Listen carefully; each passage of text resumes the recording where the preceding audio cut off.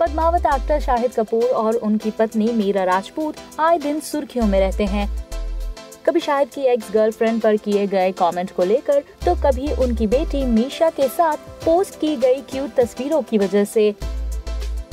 लेकिन इस बार उनकी चर्चा में रहने की वजह कुछ और है, और वो है मीरा की प्रेगनेंसी खबरें हैं कि शाहिद फिर एक बार पापा बनने वाले हैं। उनकी पत्नी मीरा राजपूत प्रेग्नेंट है। दरअसल सोशल मीडिया पर मीरा की फ़ोटोज़ देखकर ये अंदाज़ा लगाया जा रहा है। देखिए ये फ़ोटोज़।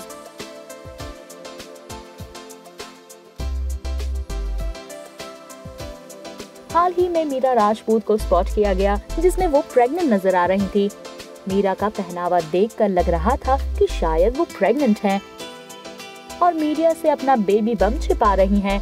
इतना ही नहीं, मीरा की कुछ फ़ोटोज़ पर फैंस ने कमेंट करके प्रेगनेंसी की बात उन्हीं से पूछ ली वैसे एक इंटरव्यू के दौरान मीरा और शाहिद ने बताया भी था कि वो दोनों जल्द ही एक बच्चा प्लान करने वाले हैं फ़िलहाल क्या मीरा प्रेग्नेंट है, ये तो पता नहीं, लेकिन मीरा की प्रेगनेंसी की खबरें काफ़ी सुर्खियाँ बटोर रही हैं।